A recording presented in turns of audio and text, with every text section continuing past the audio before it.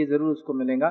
اسی طرح خبر کی زیارت کا جو حکم ہے، میں اس کی تفصیلات پر لے چکا ہوں۔ کہ خبر کی زیارت کی جا سکتی ہے، چونکہ اس سے نبی اکرم صلی اللہ علیہ وسلم فرمایا میں نے تمہیں زیارت قبور سے منع کیا تھا۔ ٹھیک ہے؟ پھر فرمایا، سو اب میں تمہیں زیارت قبور کرنے کا حکم دیتا ہوں، اس لیے کہ تمہیں اس سے آخرت یاد آتی ہے۔ اللہ کے رسول صلی اللہ علیہ وسلم نے ابتدائی دور میں خبر کی زیارت کرنے سے منع کیا تھا کیونکہ صحابہ کا ابتدائی دور تھا۔ غلط فہمی پڑھنے کا یا پرانے رسومات بہت عام تھے، میت کے تعلق سے۔ تو آپ نے روک دیا تھا، بعد میں کہا کہ اب میں تمہیں اجازت دیتا ہوں کہ تم قبروں کی زیارت کیا کرو۔ تو زیارت قبور کیا جا سکتا ہے؟ یہ سنت ہے، مسنون ہے۔ نبی اکرم صلی اللہ علیہ وسلم قبر کی زیارت کرتے، آپ بقی جاتے، بقی جانے کے بہت سارے واقعات ہیں۔ مطلب آپ قبرستان میں جاتے تھے خبروں پر بھی جاتے تھے۔ تو ہمیں بھی چاہیے موقع ملے، تو ضرور ہم قبرستان یا خبروں پر جائیں۔ اس سے ہمیں کیا یاد آتا ہے؟ آخرت یاد آتی ہے، یاد رکھیے۔ تو یہ کرنے میں کوئی حرج نہیں۔ اسی طرح جو ہے خبر کی زیارت کے لیے آپ جائیں یاد رکھیے، تو اس کے لیے خبر پہ جانے کے لیے دعائیں ہیں، جو دعائیں ہم پہلے دیکھ چکے ہیں بہرحال خبر پہ جانے کے لیے، تو آپ جو ہے خبر پہ جب جائیں تو اس پہ جو ہے آپ دعائیں کر سکتے یاد رکھیے۔ اسی طرح جو ہے خبر کی زیارت کرنے کے لیے سفر کرنا علماء لکھتے ہیں، یہ درست نہیں ہے۔ آپ اگر اسی شہر میں آپ یا آپ نکلے تھے، کسی کا انتقال و خبر ملی، آپ پہنچے تقسیم ہو گیا، تو آپ جا سکتے ہیں۔ لیکن خاص خبر کی کسی کی زیارت کرنے، سفر کر کے جانا اجازت نہیں ہے۔ اس لیے کہ اللہ کے رسول صلی اللہ علیہ وسلم نے فرمایا، صرف تین مسجدیں ایسی جن کے سفر کرنے کی نیت سے آپ نکل سکتے ہیں، کہ اجر بھی ملیں گا۔ مسجد حرام مسجد نبوی اور مسجد اقسا اس کے علاوہ کسی کے لیے آپ سفر نہیں کر سکتے، لہٰذا خبر کی زیارت کے لیے بھی اسپیشل سفر نہیں کر سکتے۔ چلے جائے تو کرنے میں انشاءاللہ کوئی حرج نہیں۔ اسی طرح جو ہے خبروں کی زیارت کرنے پر جو ہے، یہ دعا آپ بہرحال پڑھ سکتے ہیں۔ جو دعا بہت مشہور معروف دعا یہ، السلام علیکم اہل الدیار من المؤمنین والمسلمین وان انشاء اللہ لاحقون اسال اللہ لنا ولکم العافیت جس کا ترجمہ ہے، اے خبرستان کے مسلمانوں اور مومنوں، تم پر سلام ہو۔ بے شک ہم بھی تم سے ملنے والے ہیں۔ ہم اللہ سے اپنے لیے اور تمہارے لیے عافیت طلب کرتے ہیں۔ یہ دعائیں بہرحال ہم جو ہے پڑھ سکتے ہیں جب خبر کے اوپر ہم جائیں۔ یاد رکھیے، خبر کے تعلق سے اتنی غلط فہمیاں پائی جاتی ہے خاص طور سے ہمارے علاقے میں ہم نے دیکھا کہ لوگ بولتے ہیں کہ اورنگزیب عالمگیر جو ہے، جو بادشاہ تھے بہرحال، وقت کے امپرر تھے ہندوستان کے بہرحال، وہ نکلتے تھے، والے خبروں کو سلام کرتے تھے۔ جواب آئے تو ٹھیک، نہیں تو خبر کو توڑ دیتے تھے۔ خبر پہ سلام کر سکتے آپ یہ سلام جو ہے۔ لیکن جواب ایکسپیکٹ کیسا کریں گے جو مردہ ہے؟ میت کیسے جواب دیں گا اگر جواب دے رہے تو خود کی نکال لو ان کو باہر۔ جواب دے رہے مطلب زندہ ہے زندوں کو دفنا سکتے کیا مجھے بتاؤ۔ نکال لینا چاہیے باہر یہ سب قصے کہانیاں اس کی کوئی حقیقت نہیں ہے۔ کسی قبر پہ نبی نے سلام کیا ہو تو جواب نہ آیا تو پھر دوسروں کے سلام کا کیا؟ اللہ کے رسول یہ دعا پڑھتے تھے۔ دوسروں کیسا ہو سکتا ہے؟ یہ سب بے بنیاد اور فالتو باتیں یاد رکھیے اسی کو حقیقت نہیں۔ بہرحال آئیے اسی طرح خبروں کی زیارت کے لیے عورتوں کا جانا یاد رکھیے، منع ہے۔ غیر پسندیدہ ہے۔ اس لیے کہ نبی اکرم صلی اللہ علیہ وسلم نے لانت کی ہے ان عورتوں پر جو کثرت سے قبرستان جاتی ہے خبروں کی زیارت کرتی ہے۔ تو لہٰذا خبروں کی زیارت کرنا خبروں پر چراغ جلان ان کو پر لانت ہے یاد رکھیں۔ یہ حدیث ہم پہلے دیکھ چکے ہیں۔ تو زیارت کرنے والی خبروں کی زیارت کرنے والی عورتوں پر لانت ہے۔ لہٰذا خبروں پر عورتیں بار بار نہ جائیں۔ لیکن جو عورتیں، جیسا یہ پوچھتی ہیں کہ پھر ہم کیسے عبرت حاصل کریں؟ تو جب آپ قبرستان سے گزر رہے ہو گاڑی وغیرہ میں ہو، گھر کا راستہ وہاں سے گزر رہا ہو، تو آپ یہ کام کر سکتے ہیں تب۔ تب بنا نہیں آپ کے لیے۔ تب آپ گزرتے گزرتے یہ کر سکتے، دیکھ لے سکتے، دعا کر لے سکتے ان شاء اللہ یہ کافی مخصوص جانا یہ درست نہیں ہے۔ اور جن علماء نے اجازت دی ہے کہ عورت کبھی کبھار جا سکتی ہے، وہ اجازت اس بنیاد پہ کہ کوئی سنگل غیر شرعی کام بھی نہ کرے۔ بے پردہ نہ ہو، خوشبو لگا کر نہ جائے، غیر شرعی کام نہ کرے، کوئی شرک نہ کرے، کوئی بدت نہ کرے، تب یہ جواز دیا۔ اور اس کی دلیل کیا بنتی ہے؟ جو جواز بھی دیا ہے، وہ دلیل وہی ایک عورت تھی، خبر پہ ہو رہی تھی۔ نبی اکرم صلی اللہ علیہ وسلم گزرے، آپ نے کہا صبر کر، اس نے کہا تمہیں کیا پتا مجھے کیا تکلیف پہنچی، تو خبر پر تھی۔ میں عائشہ رضی اللہ جہاں رہتی تھی، جو آپ کا حجرہ تھا، نبی کی وفات کے بعد وہاں اللہ کے رسول کی مزار تھی، تب بھی آپ رہی۔ پھر ابکر صدیق رضی اللہ کا انتقال ہو گیا، ان کی مزار تھی، تب بھی آپ وہیں اس حجرے میں رہی۔ اس کے بعد عمر ابن خطاب رضی اللہ کو دفنایا گیا اور انہوں نے ارادہ کیا تھا، حجرے میں تیسری جگہ تھی۔ ارادہ کیا تھا کہ اب میں یہاں دفن ہوں گی تاکہ شوہر اور والد کے ساتھ دفن ہوں۔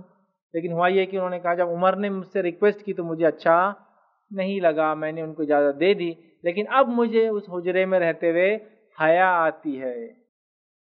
حیا آتی اس لیے کہ ظاہر سی بات ہے، کپڑے وغیرہ بدلتی تھی، روم تھا نا ان کا۔ تو آپ عمر بھی ہیں تب مجھے حیا آتی عمر کی خبر کی وجہ سے۔ لیکن اس سے کچھ لوگ غلط معنی نکالتے ہیں اور بہت ہی گھٹیا اور غلط معنی ہے۔ وہ کہتے ہیں کہ خبر والوں کو عورتیں ننگی دکھتی ہے اس لیے عورتوں نے خبروں پہ نہیں جانا چاہیے۔ نوز بلّہ یہ آپ نے سنا ہوگا بار بار۔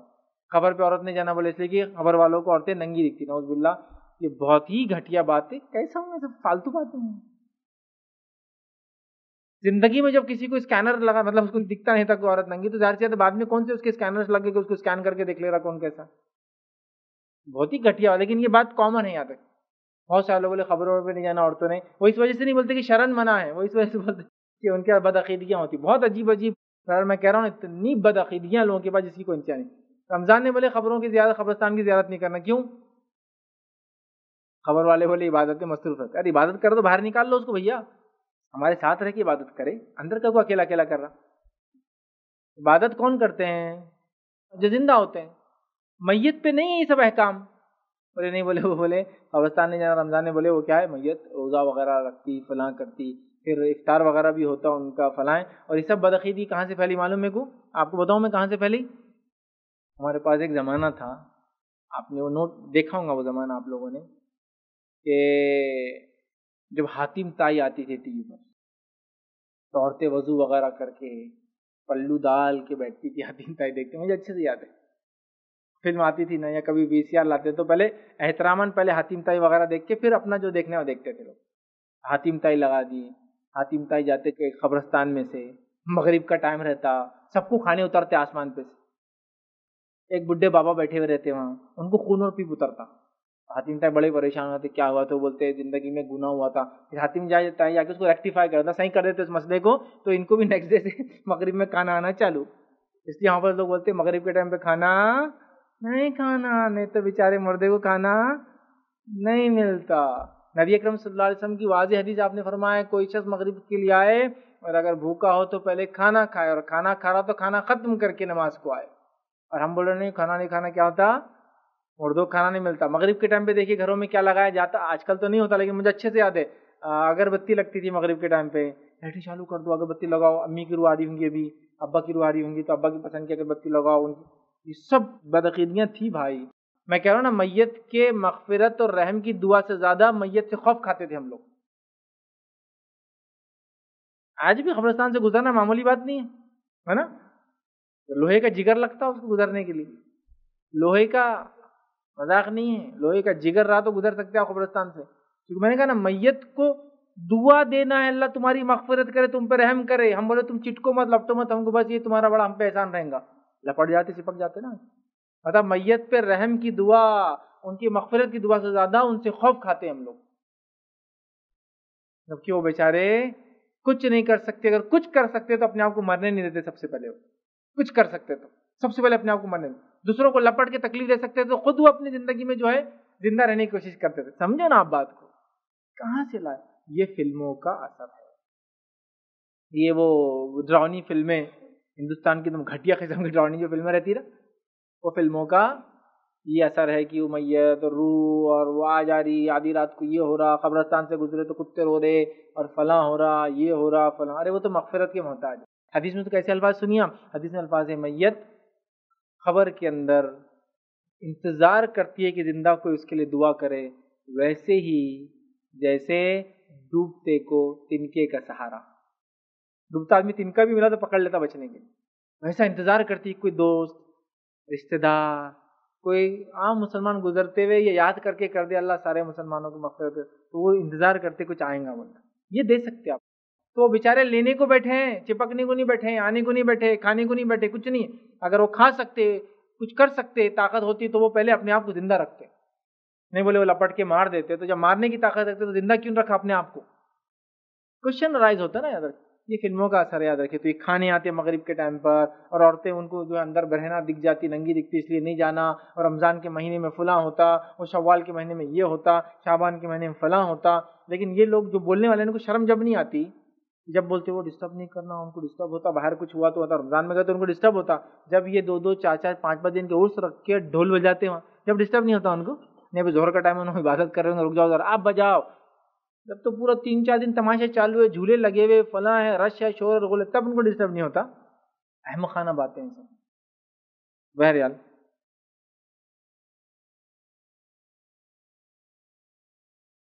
السلام علیکم۔ آپ بھی ہمارے اس کام میں تعاون کریں، اپنی زکات و صدقات کے ذریعے ڈونیشن ڈیٹیلز کے لیے ڈونیٹ پر کلک کریں۔ اگر آپ کو ہمارے ویڈیوز پسند آئے ہیں، تو اسے شیئر کریں اور سب کے حقدار بنیں۔ روزانہ ہمارے ویڈیوز کو پانے کے لیے ہمارے یوٹیوب چینل کو سبسکرائب کریں اور بیل آئکن دبائیں۔ ہم سے دیگر سوشل میڈیا پر جڑنے کے لیے ویڈیو میں دیے گئے آئی ڈی کو سرچ کریں۔ جزاک اللہ۔